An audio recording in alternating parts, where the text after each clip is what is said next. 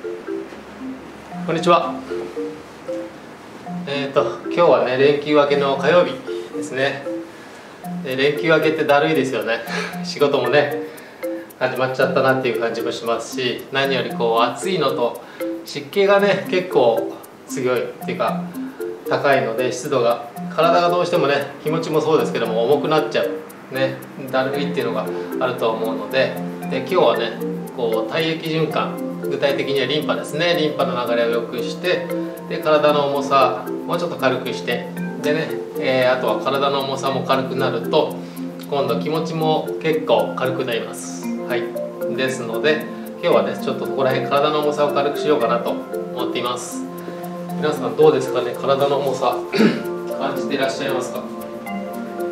湿気が多いとねどうしても体の中の水液がね水液体液が滞るとこう水毒っていう状態になってでそれがね重さの原因になったりしますのでちょっとその重さを軽くしていこうと思います。まず事前のチェック。そうですね。ジャンプとかが一番分かりやすいですかね。うん。またねいつものようにですけどもちょっと体の重さをチェックするのにジャンプしてみましょうか。その場でねジャンプしてみます。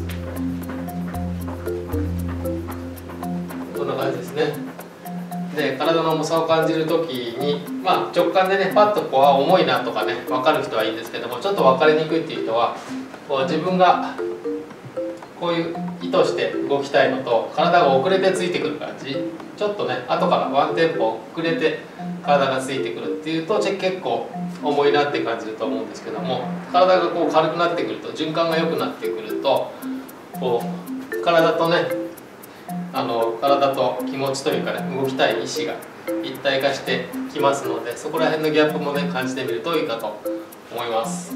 こんな感じで飛んだ時のタイムラグですね。はい。これとあとはそうですね大体体の重さは足下半身にね、えー、溜まったりしますのであとはこの足を上げた時の足の重さですね。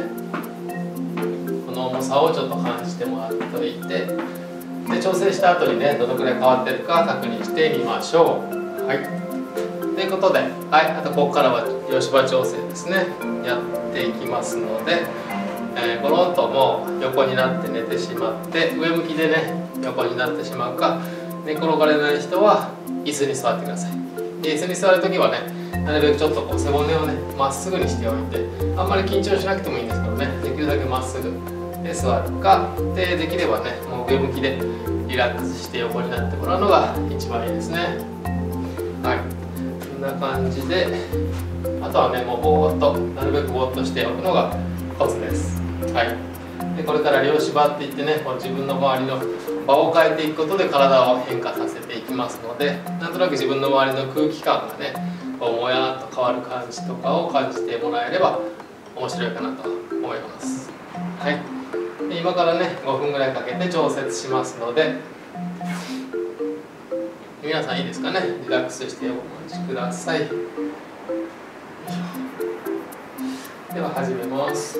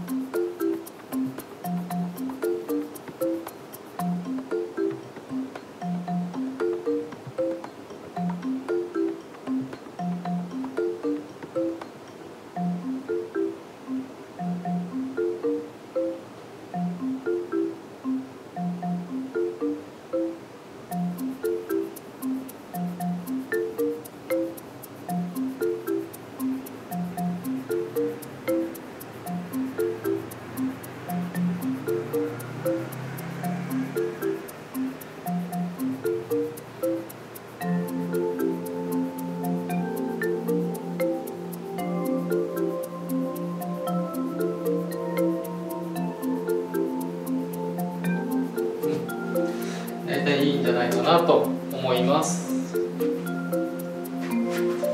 ではねちょっとゆっくり起き上がっていただいてさっきとね体の状態を確認してみましょうか、ね、変化どのくらいあったか。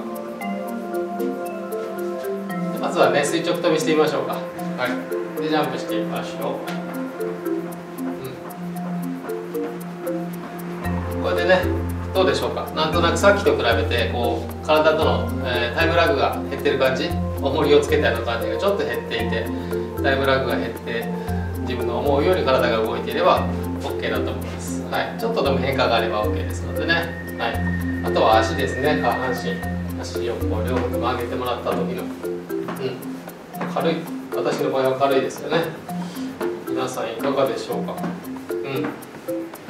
でちょっと変化があるところに意識を向けるとそこからねあのさらに体が変化していきますので少しでも変わってれば OK です。はい。あとはそうですね普段のこう生活の養生としてはえーとね、汗をかくことがいいんじゃないかなと思います。はい。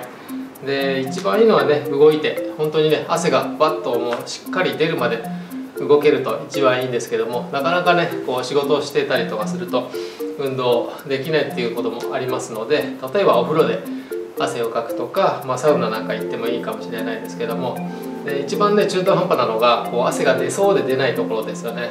なので今日はねちょっと汗かこうって決めたら結構厚めのお風呂でもいいので入ってもらってガーッともう汗がしっかり出るまでかいてもらってでその後ですぐエアコンの部屋に入らずにしばらくね自然に汗が引くまで汗を拭きながらこうあの部屋で過ごすとかお風呂でねちょっとしばらくいて、えー、汗が引くのを待つっていうのもいいと思います、はい、そうするとねあの水毒体の中に溜まってた水分ねが、えー、しっかり出てで新陳代謝が活発になりますので是非試してみてください。はい。ということであとはそうですねわかめ体操も おすすめです。はい。実際にねやっぱ体を動かすのが一番ね流れが作ることができますのでまた動画の最後にねリンクを貼っておきますのでそちらをご覧ください。どこに出るかな？ちょっとわかんないですけどもどっかに出ると思いますのではい。やってみてください。はい。それでは最後まで見ていただいてありがとうございました。ちょっと参考になったなと思ったらいいねボタンお願いします。それでは失礼します。